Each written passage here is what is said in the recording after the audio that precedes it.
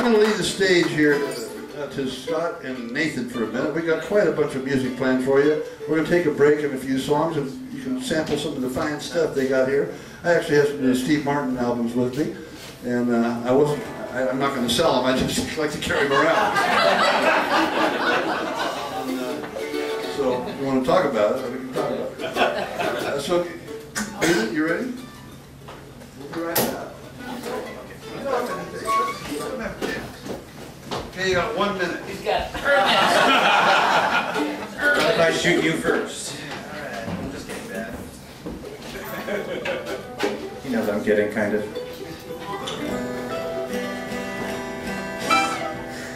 I have to say, this is really very fun for me. Uh, thanks, Dad, for having us up here. Scott, Scott and I have been playing a bunch of shows for the past year, and this is what we've been doing. This is a song called Quick at the Draw, and check us out. And uh, thanks, Dad. I appreciate it. I don't really want to kill him. Don't worry. Sunshine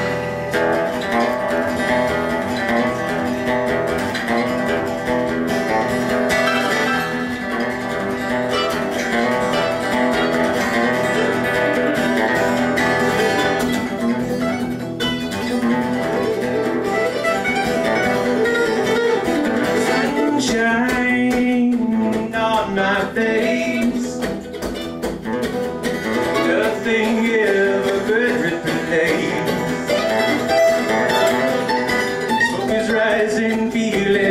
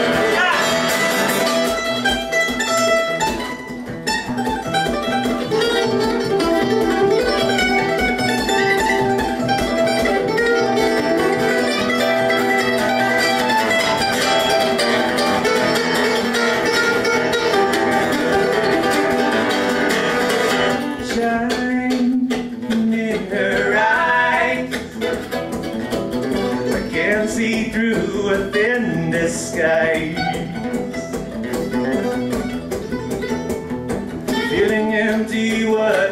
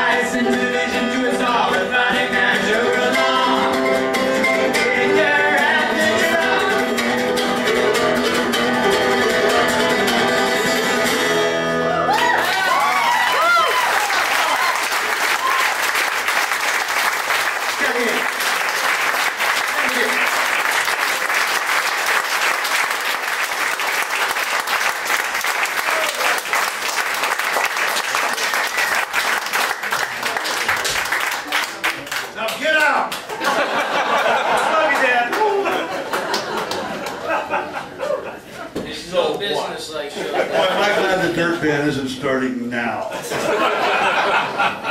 The first song I learned to play the mandolin on, uh, it was like 21 years old. No, I was 23. It was Mr. Bojangles. So, you know, and here's this punk kid. You